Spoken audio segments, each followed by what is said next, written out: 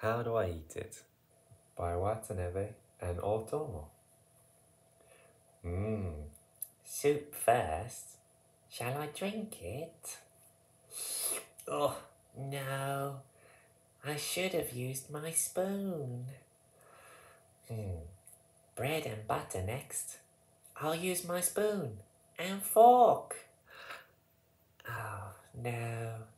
That must be wrong. Strawberry jam. Do I pour it on?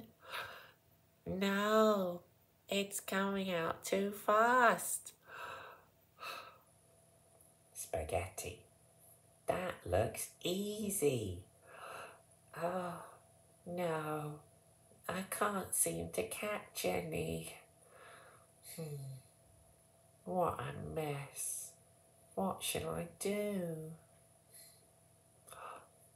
I know.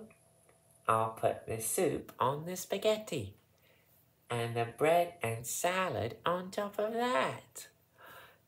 Then I'll eat it all with my fingers. Mmm, lovely. But was I right? The